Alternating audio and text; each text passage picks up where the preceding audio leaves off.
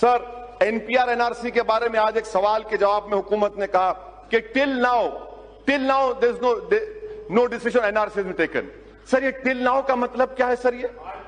Till now का मतलब क्या है? आज और कल होगा ना? कल होगा परसों होगा। नहीं उसमें लिखा है अभी तक। अभी तक। कभी तक कभी नहीं लिखा हुआ है ना सर? अभी तक। Till now. सर सर अब आप अब आप देखिए सर मैं आपके ज़रिए से गवर्नमेंट को कह रहा हूँ जी हाँ यस सर मैं थम्स अप हूँ, आप शेक्सपियर पढ़े हैं, मुझे मालूम। और और मैं आपको कह रहा हूँ कि अभी सर सर मैं अभी हलवा और पूहा खा के आऊँ, इसलिए अच्छा बोल रहा हूँ। हाँ। तो तो सर, ये ये एनपीआर और एनआरसी का मैं ज़िम्मेदारी के साथ अर्ज़ कर रहा हूँ।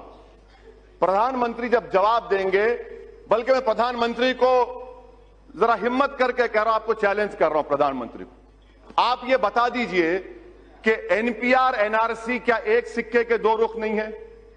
क्या एनपीआर और एनआरसी सिटीजनशिप अमेंडमेंट एक्ट के रूल्स में नहीं है? 14 ए के तहत। अगर एनपीआर होगा तो एनआरसी होगा। इसीलिए आपने 3,900 करोड़ रुपए एनपीआर को दिए और एनपीआर सर सुन लीजिए। एनपीआर एनपीआर के सर सर इन तमाम से पूछिए कि 2003 के रूल्स में कितने मरतबा नेशनल पॉपुलेशन रजिस्टर लिखा गया है?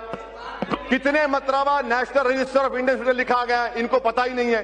सर, मैं आपके सामने कह रहा हूँ कि एनपीआर होगा तो एनआरसी होगा, क्योंकि सेंसस अलग है। सेंसस अलग है, एनपीआर अलग है। आप एनपीआर जब करेंगे, और उसमें आठ सवाल क्यों डाल रहे हैं आप? नए सवाल क्या एनआरसी नहीं करेंगे?